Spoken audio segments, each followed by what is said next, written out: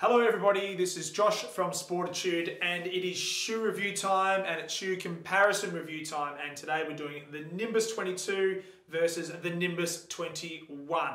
So quite a lot of change, actually there is heaps of change outsole, midsole, upper. So um, without further ado, let's get stuck in.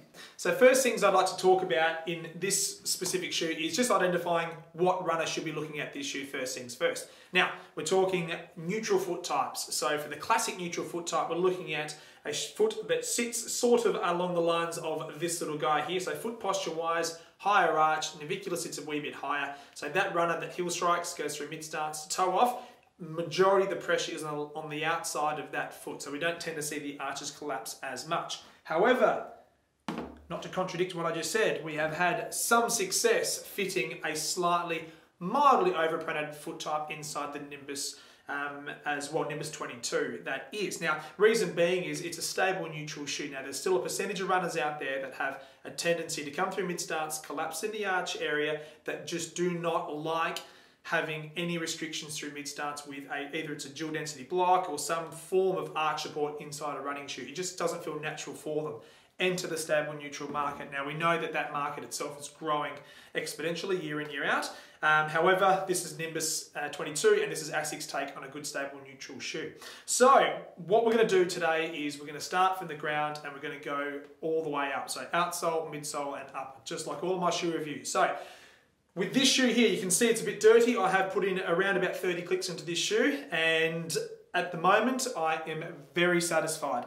I did enjoy the Nimbus 21s, uh, but you know, I think it had some flaws and some faults, and obviously it was quite kind of um, well publicised over 2019. Uh, people coming out saying it's not the same sort of running shoe as what it's previously been. It's been a bit stiff, a bit, a bit heavy, a bit clunky. I can sort of see that where people were coming from. And I think ASICS obviously had their ears close to the ground as well because they listened, because they changed, a lot of the change in this shoe is all about weight reduction, still providing nice dampening underneath the foot, but a little bit more flexibility, which will essentially pro provide a smoother transition through your gait cycle. So what I'd like to do is I'd just like to identify that this shoe is still classic, uh, classically designed for a heel striker. There's a lot of engineering in the back half of the shoe that will um, sort of cater for that first point in contact with the ground. If you're a midfoot runner, you can still run in this shoe, which I am and I enjoyed it. However, a lot of the engineering here is certainly favouring that heel striker. Now there's a new shoe that we're going to review shortly too in the Nimbus family. Yes, the Nimbus family that is designed for more of a midfoot runner. So ASICS have obviously cutting for that market too. So we'll do that in two ticks, but let's get stuck in with this shoe. So looking at the outsole in comparison to the Nimbus 21. I don't really need to do much talking. You can at home can see the change with this shoe. Through the forefoot, you can see the extra flex screws through this component through here. So complete horizontal flex screws, which is the first time they did that in the Nimbus 21 as well. So in the Nimbus 21, you've got one, two, and little slits through here to provide a wee bit of flexibility. However, it was a wee bit stiffer through that toe off phase for a lot of runners. So a lot of runners sort of feedback was it just didn't feel as plush and as smooth as what Nimbuses have felt for them previously. So ASICS had listened. And what we've got going on through here is one, two, three, four, five flex screws. And you can see when you bend that forefoot, it's a lot more flexible on that toe off phase. Coming through to the mid-stance component, you still got this little beam through here, this little Trusstic device that's going to provide a little bit of rigidity for that heel striker. So when they come down on heel, go through to mid-stance through here, that little Trusstic beam is just going to give the shoe some structure some integrity when you're going through that mid-stance phase of your gait cycle. Then coming down to the heel strike component area through here, you can see they're still running with this horizontal flexibility or flex part of me. Now, that in itself will provide a little bit of extra dampening as well. So cutting away into the midsole reduces the weight ever so slightly, but also provides a little bit of extra dampening in line with the gel cushioning at the back. So there's quite a lot of change in the outsole, and I think it's really good change. Coming through to the midsole now though, we're talking all things Flight Foam. So we've got the FlyteFoam technology, which is their patented technology. They've run it now for a few years. It's a nice soft foam. It's also responsive in the areas you need it to be responsive.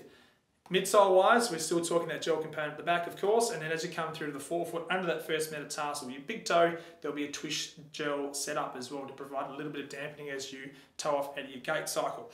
Now, when we're talking about the midsole here, it's important to note there's been quite a change in the stack height of this shoe in comparison to what it was last year. So I'm probably going to be getting a bit of trouble for saying this, but the execution on this shoe was not ideal in the midsole. So they went for more of a jacked up cushioned version. So again, I said earlier, and I didn't mind it. However, the feedback was it just didn't work for the majority of runners out there. So when I say jacked up version, what I'm talking about here is the actual amount of shoe underneath your foot. So for the men's Nimbus 21, we had 31 millimeters in the heel, 21 millimeters through the forefoot for a heel to toe grading of 10 mil. Nimbus 22, we've dropped it by five. Now that's that's uh, pardon me six. That's remarkable. So we've got now we've got 25 millimeters in the heel, 15 millimeters in the forefoot. That's quite a change. And to be honest, I would usually think that I could feel that change in and underneath my foot. I didn't. The Nimbus 22 still felt really cushioned and still felt elevated off the ground. However, the actual amount of shoe underneath your foot is quite a change. It's five milli, uh, six millimeters, pardon me, variance between what it was in the 21 to what it was in the 22. Now, I need to touch on the variance in the ladies too. Now, I don't have a Nimbus 22 sample here. However, the stack height is different again. So it's 27 in the heel, 14 in the forefoot. So ASICS true to their um, previous years. They've ever, with their high mileage running shoes, they do change the stack height heel to toe for men's and women. So obviously they've done the research to back that up. And ladies have a slightly higher heel to toe offset. Now let's go to the upper. Probably my favorite but cheapest part of the shoe to make. the Nimbus 22's upper is fabulous. It's stronger, it feels a lot more pliable in the foot. So what I mean by that is you can actually conform to the shape of my foot a lot easier than what I found with the Nimbus 21. So shape and structure wise, it hugged me in all the right areas. The heel component was great. It's a nice deep heel counter. So for those of you that have an orthotic or need orthotics and can, are looking at a stable neutral shoe to put this in, Sockliner comes out, Orthotic goes in with great success. It's nice and deep, so it's going to cater for the variety of heel, um, heel lifts in orthotics, and we know there's a lot out there. So this shoe will cater for a lot of orthotic shapes, as long as you do the heel lock lace to get it nice and secure. So heel counter, heel counter part of me is nice and stable, internal structure, really solid, set up through here so when your foot hits the ground it doesn't feel like it's moving around at all, nice and secure, coming through to mid stance. The depth through here was great. So with and without my orthotic inside this shoe, I felt like I had enough depth. Didn't have to worry about changing from a thicker or thinner a sock. It just felt nice and deep through here. And the overlays just gave me a nice wrap. As you come through to the forefoot though, that's where I found it the most successful. I felt like I had enough toe room to get a little bit of wriggle space, but it felt secure and it didn't feel like my foot was slipping off the platform when I was toeing off. I touched on before, the upper is stronger. It is a really, really nice mesh. However, lighter and thinner, so a lot more ventilation. So we're coming to some warmer months here in Australia, and um, this shoe I know is going to breathe really, really well. It's a great shoe, great contributor, and it could be a shoe that is your next purchase. So thank you very much, and as always, happy running, and we'll see you out the road.